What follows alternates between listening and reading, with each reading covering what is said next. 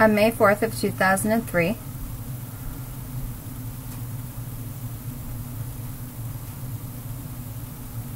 I was in a parking lot area.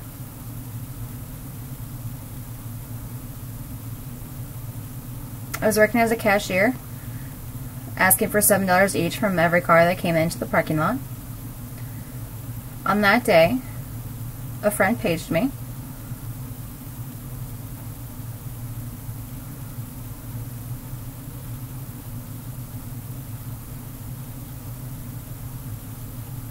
Let me know that there was a tornado warning possible for the area I was in. I told him thank you for the warning.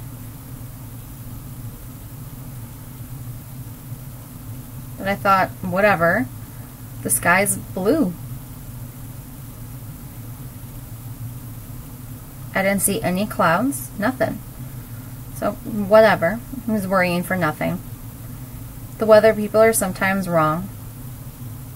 Fine, whatever.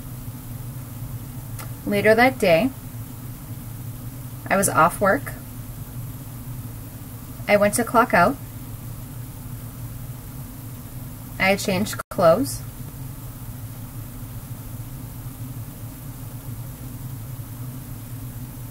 waited for my cousin to come pick me up.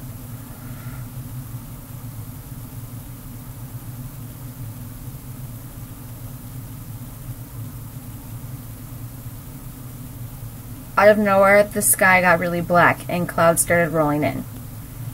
I was thinking, well, what's up with this? My friend might be right.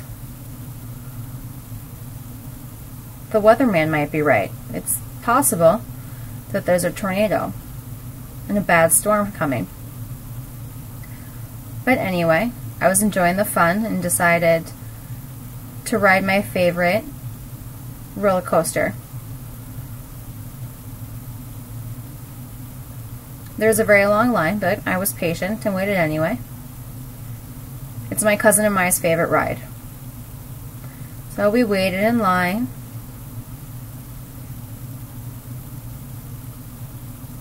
An announcement came on that said to go find shelter because there was a tornado on the way and it could possibly hit this area.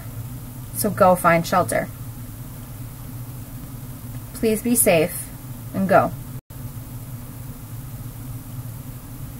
My cousin and I went and found a building that we sat in and waited. I thought, stupid me. I should have listened to my friend. I should have gone home and been safe. But I decided to ignore it and just go socialize and have fun. It was not safe.